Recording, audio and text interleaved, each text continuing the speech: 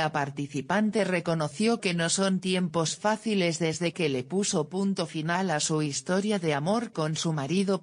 Luego de haber abierto su corazón sobre su separación de Facundo Moyano, tras casi dos años de casados, Eva Bargiela volvió a romper el silencio, y dejó en claro que no vive un buen momento, pese a la felicidad de ser parte de Bailando 2023.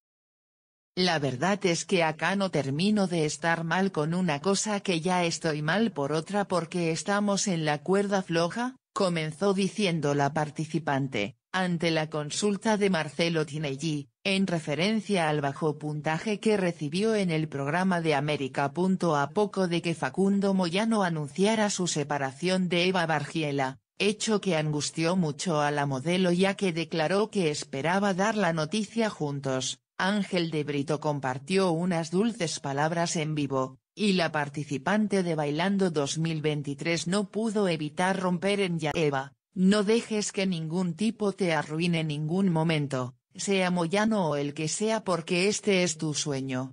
Sé que hace muchísimos años que tenías ganas de estar acá y ahora que estás, disfrútalo y no dejes que lo arruine ni un hombre, ni nadie.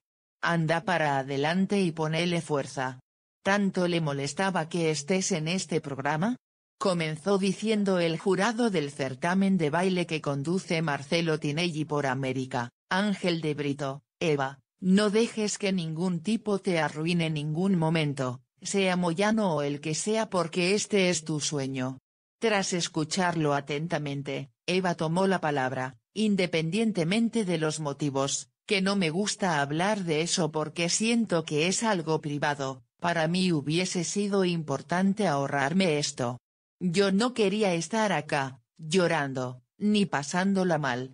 Yo quiero estar acá, disfrutándolo, y hoy verme expuesta de esta forma que yo no elegí, hasta me da vergüenza.